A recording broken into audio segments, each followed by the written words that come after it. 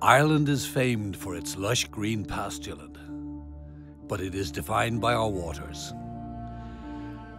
From the benign Irish Sea on our east coast to the Black Atlantic on the west, the sea runs through our blood. Our lakes and our rivers course through our veins. It defines our culture and warms our welcome to those who would come to visit us. The sea has protected our sense of self, and the ocean has transmitted our unique culture around the world. It has engendered our sense of adventure, our curiosity to see what lies beyond, and to bring home, again and again, the fruits of our travels so that we may grow and prosper within our global village.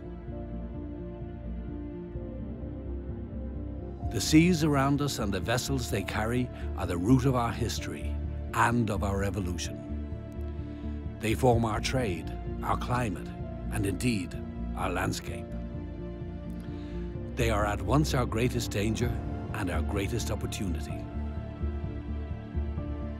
We have roamed the seas from St. Columcille, who founded a monastery on Iona in 563, to St. Brendan, the navigator, who sailed for seven years spreading Christianity in the 9th century. And there are those that say he reached America.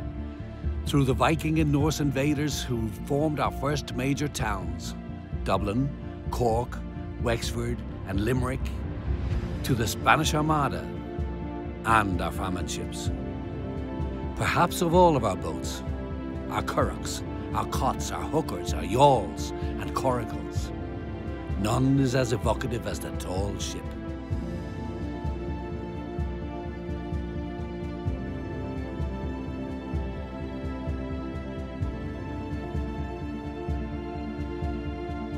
The sight of those magnificent timber vessels with rigging and sails, incomprehensible to the landlubber, coursing a path through a heavy sea, its deck and rigging a hive of activity, is a symbol of man's mastery of his environment.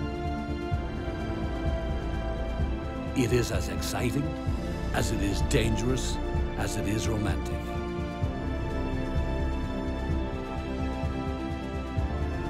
This is a visual narrative of our tall ships that will speak to you of the Asgard, of the Astrid as she sank off Kinsale, the Dunbrody, and of the young people from the north and south of Ireland who built the Jeanie Johnston and who plan now to build a new Asgard. This is the Tall Ships of Ireland.